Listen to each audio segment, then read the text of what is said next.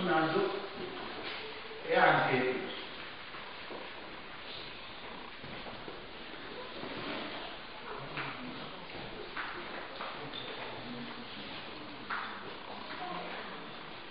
e lo faccio così.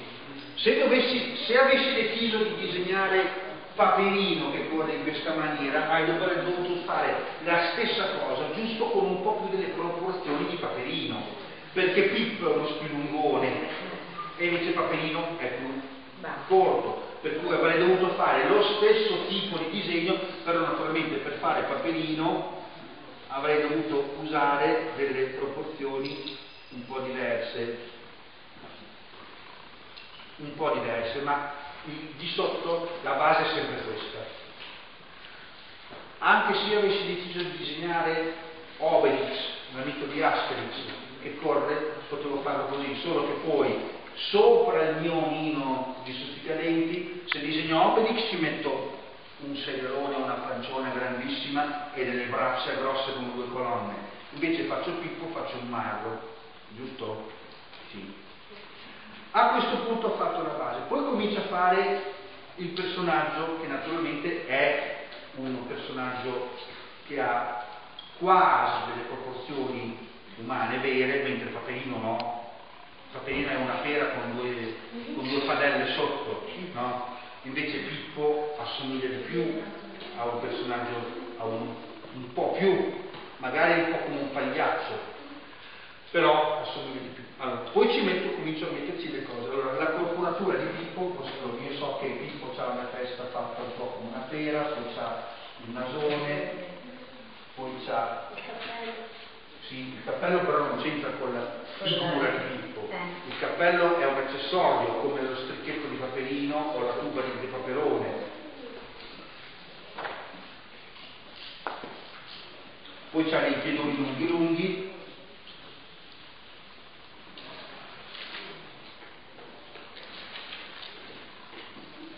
comincio a precisare i caratteri, no? A questo punto sono arrivato, posso cominciare a fare la figura. Allora, metto, comincio a mettere i particolari che prima non c'erano. Se volete potete anche copiare, sono un po' in mezzo ma poi mi sposto. Allora, comincio a fare anche il disegno un po' alla maniera, cioè, questo era uno scarabocchio, poi devo cominciare a disegnare un po' alla maniera disneyana, cioè le figure devono avere anche certe regole. Ad esempio, avete visto come sono le gambe? Le gambe, anche quelle di Paperino, sono sempre come quando in certe posizioni sono come se fossero così. Questo quasi come un pezzo unico. No? Non lo devo mettere un po' troppo in su, un po' troppo in giù, se no eh, non, viene, non è più bello da vedere. Come un altro esempio stupidino. Avete presente come è disegnato Topolino?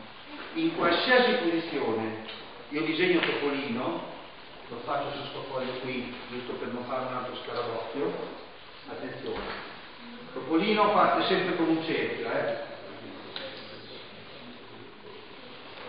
Mm. Allora, se disegno Topolino di profilo, ha le orecchie così, giusto? Se disegno Topolino di fronte, ha le orecchie così.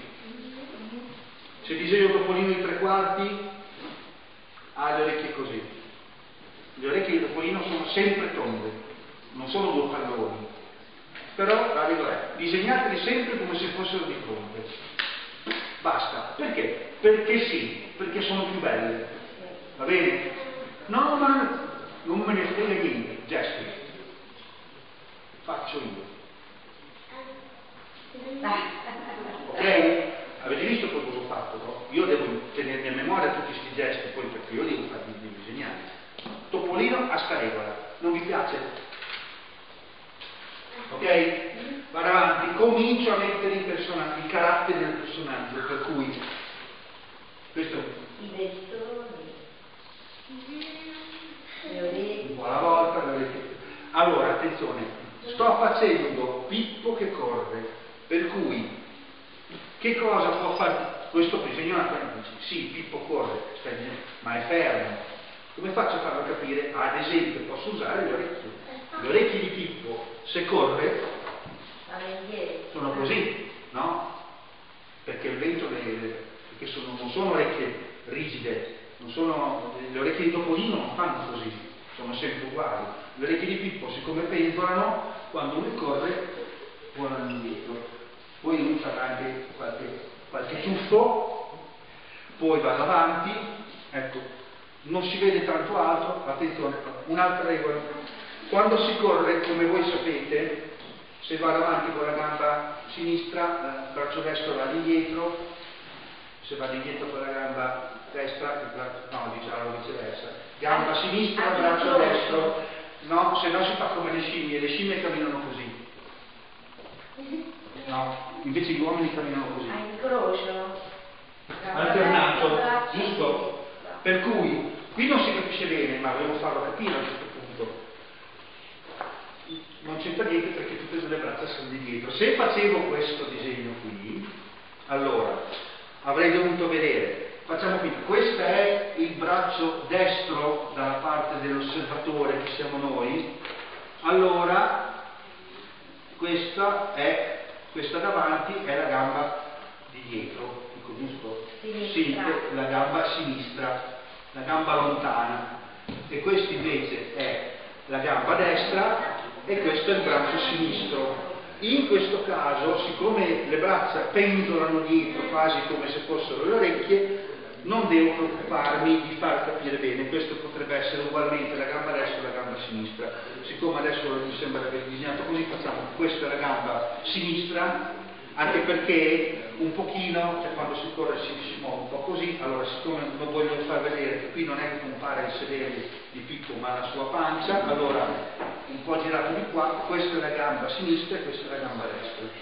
Ok? sono particolari che cominciano. A questo punto posso cominciare ad aggiungere i particolari, perché lo schema l'ho già fatto. Allora comincio a mettere tutte le cose che mi interessano, come ad esempio il berretto che potrebbe essere volato via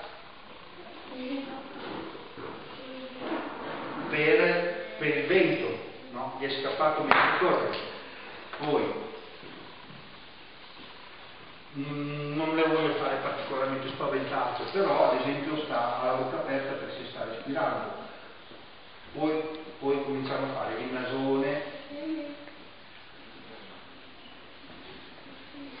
Adesso naturalmente sopra, se io facessi questo disegno veramente dopo dovrei sgommare tutta quanta la gomma, la matita, che però adesso il pennello rosso non viene più via, eh, certo. e fare per bene col pennello particolari, adesso ve lo faccio un po' a scarabocchio, però è così, i denti che compaiono, così,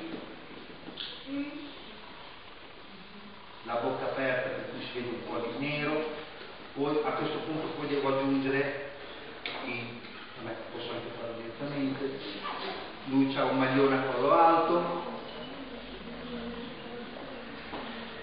ci metto qualche caricatura in piega delle, delle maniche, no?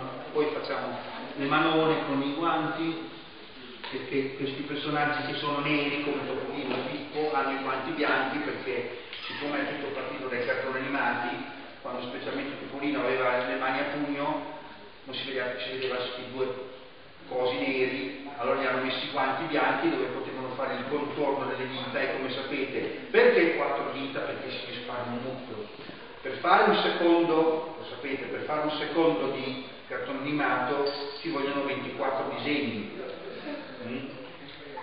Una volta forse ce ne mettevano 18, ma sono abbastanza. Allora, una mano... Il regista teatrale Alessandro Mascia che ci, da, ci presenterà un suo l'ultimo lavoro in realtà, un lavoro preparato di recente e poi infine, dopo questa, questa, questi due eventi, ci sarà la premiazione ai nostri ospiti. E quindi, però prima di presentarvi questa, questa prima tappa di questo pomeriggio, do subito la parola al sindaco per onori di casa, ma soprattutto perché la persona che io ringrazio ogni anno, qui anno, ci ringraziamo reciprocamente, perché grazie al sindaco, tra l'altro stamattina ho scoperto che lui si può ricandidare perché nel... è al suo secondo mandato, però sono nove anni che, che ci portiamo avanti questa difficilissima impresa di un festival che è fatto grazie agli sponsor e al comune. Abbiamo qui anche lo sponsor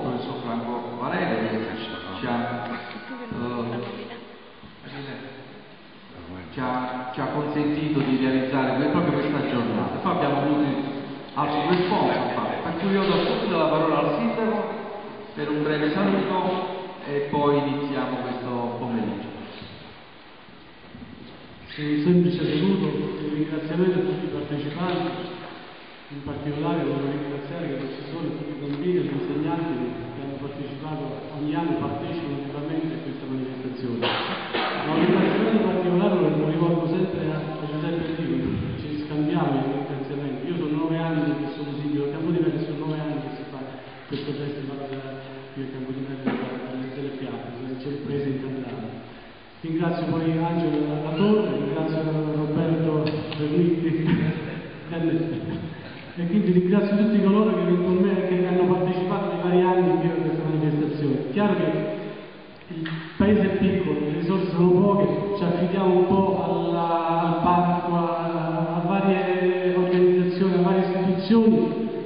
over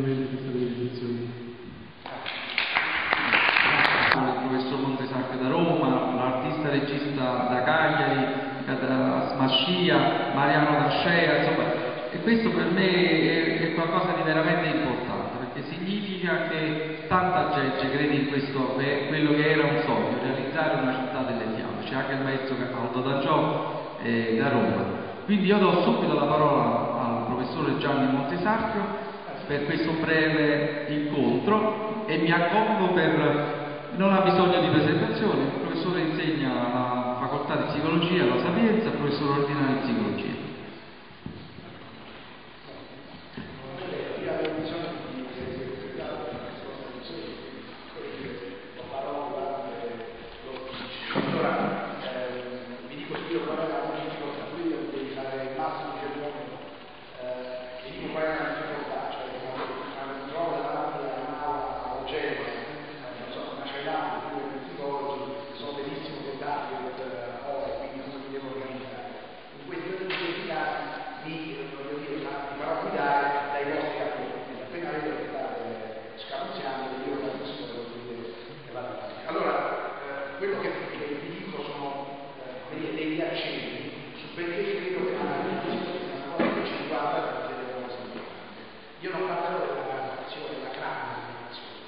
back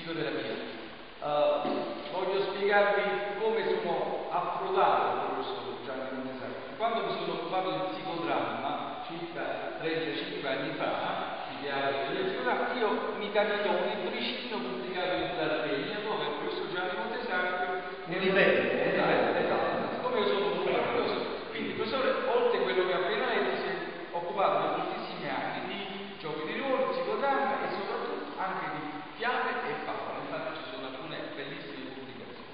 Tra l'altro, siccome credo che eh, andrà in pensione, spero non subito, però appena eh, abbiamo deciso probabilmente faremo una sottoscritto in cui iniziamo a collaborare, che anche io non sono convinto di questo. Allora, Adesso oh, la prima cosa che mi viene rispetto, il premio è dato proprio per i suoi studi, chiaramente rispetto a ciò che lui ama moltissimo, alla cultura napoletana, ma anche gli studi rispetto al connubio tra arte e psicologia e soprattutto rispetto al discorso delle piante. Qualsiasi cosa ti viene in mente che ti viene su questo argomento e poi intanto vado a prendere il premio. Allora, in tutti questi casi si- uno dice, uno si prepara, si fa la invece credo che eh, insomma, eh, onestamente eh, ecco, una cosa che mi ha dato soddisfazione nella, mia carriera, ho scritto troppe cose per, eh, lo sanno i miei colleghi, eccetera, ognuno di noi ha scritto troppe cose eh, che servivano per eh, vincere concorsi, che spesso sono interessanti ma che non ci interessano. Invece, per esempio, un libro che, ho sempre amato, che ha avuto un buon successo, era quello che ho scritto sulle favole e appunto su questo discorso in un'epoca in cui la favola veniva eh, sfondata e veniva interpretata fino alla noia e, e il libro aveva come sottotitolo eh, la- per la favola eh, narrata non per la favola eh, interpretata. Credo che appunto così, come, come è stata quella lettura, no? Cioè non c'è, non c'è bisogno di commentare quando le cose eh, hanno un, eh, un peso. Eh, il- l'esagerazione del commento è proprio la cosa che eh, snatura e distrugge. Io sono per la narrazione pura, tant'è vero che questo è poi una delle cose di cui mi sto occupando moltissimo. Minimalista. Assolutamente, cioè, abbiamo fatto un congresso a Foligno a ottobre dove abbiamo chiesto al- ai premati, eh, a tutti quanti i convenuti, invece di fare la narrazione di raccontare faceva capire dal racconto di che cosa sono stati. E anche le persone che sono intervenute non hanno fatto una narrazione. Questa mi sembra un racconto storico, che Bene. però ti fa capire, eh, come la lettura che Alessandro proposto. Grazie professore Montesarchi, un applauso per il professore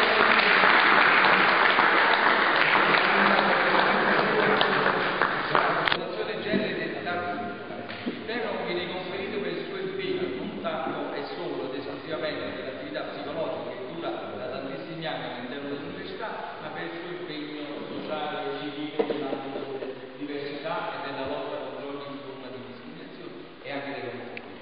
Qualsiasi cosa vi viene in mente, Paolo, intanto vado a prendere il premio e continuiamo. Quello che vuoi. Beh, sono contento di sentire che in realtà tra le varie cose che abbiamo promosso per esempio in questa fondazione è una fiaba, eh, transpone, eh, e la favola eh, che destiamo ai bambini per aiutarli a comprendere un fenomeno che molto spesso anche gli adulti comprendono bene, il eh, trasformerismo, transsessualismo. Come dire, con parole semplici a un bambino, eh, cosa è una persona, cosa è cosa significa Penso che le piante sono uno strumento immediato, i bambini sono più utili di tutti, perché gli adulti devono entrare in contatto con l'Italia tematiche, senza pregiudizi e senza eh, stereotipi.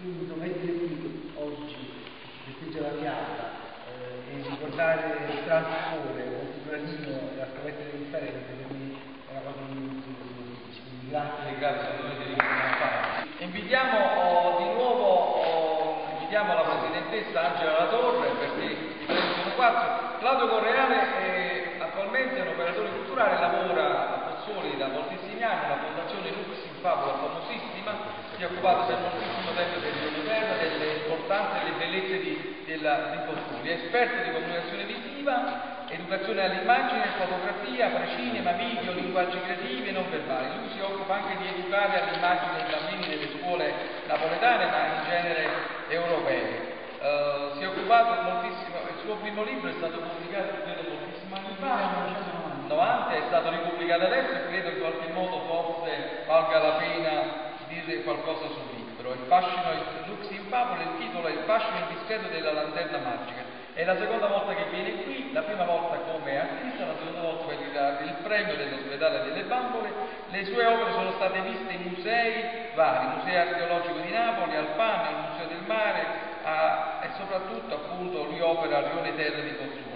Il premio è per la lunga carriera, ormai sono moltissimi anni, per la forza e la, tenacia che ha avuto e ha continuare il suo lavoro nelle scuole e a livello culturale, anche attraverso la sua importante associazione che consiglio di visitare, che si trova a due passi dal Tempio di Serapide e da tante cose.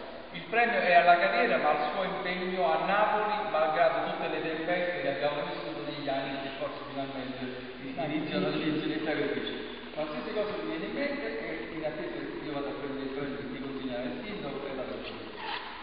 Eh, io sì, dicevo questo premio, però quello che mi preme dire è che eh, in effetti eh, sono 36 anni, dall'81 che eh, va avanti questo laboratorio che poi diventa anche associazione, Lux in Fabula, ma se mi sono dedicato sempre questa associazione, sempre a questo progetto, ma sono andato avanti con il sostegno soprattutto dei miei fratelli, di mio padre, e dei tanti amici che continuano a sostenere negli anni, come Vincenzo Busto che è qui vicino a me, e soprattutto dei tanti giovani che frequentano l'associazione, che hanno fatto il servizio civile, che fanno volontariato anche spesso gratuitamente come in questo periodo e che hanno portato avanti vari progetti come quello dell'archivio del balesismo dove abbiamo raccolto tantissimo materiale che riguarda la crisi la crisi del 1970 e del 1983 dove 2000 tanti molto operati in pochi giorni da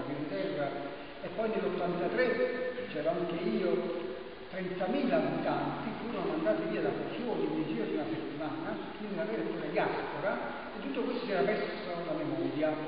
Parlando sempre di memoria, come diceva il professor Contisacchi, la memoria è una cosa estremamente importante per non commettere gli stessi errori del passato, quindi abbiamo memorizzato tutto questo archivio, parliamo di migliaia e migliaia di articoli di giornali, documenti, fotografie, libri, tutto digitalizzato, tutto online. E questo forse è il lavoro più importante che abbiamo fatto, ora stiamo lavorando con l'Università eh, UCL, che è l'Università di Londra, eh, insieme allo Osservatorio Vesuviano, insieme alla Federico